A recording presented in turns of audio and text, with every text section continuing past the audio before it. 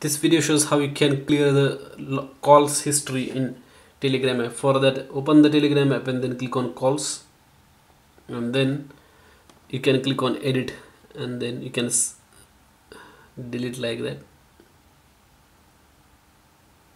That's how you can delete the uh, log uh, call log history in telegram app. Thanks for watching this video.